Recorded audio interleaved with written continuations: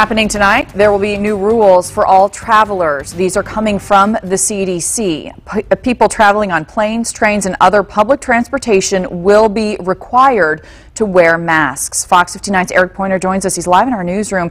Eric, good morning. Let's talk about uh, when these rules are in place. What happens if someone refuses?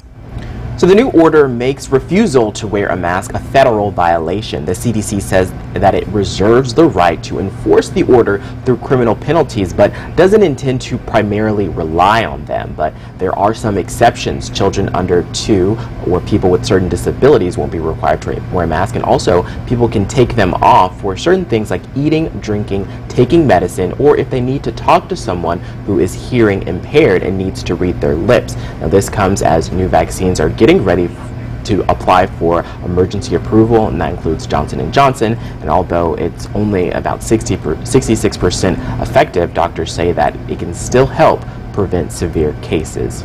Just to give perspective, you know, the annual flu vaccine is only about 40 to 50% effective every year, yet it still saves lives, it still reduces hospitalizations all U.S. airlines have already had their own mandatory mask requirements, and so far since May, they have banned more than 2,700 passengers for violations of their mask policies and other disruptions. Now, these new rules will go into effect tonight at 11:59.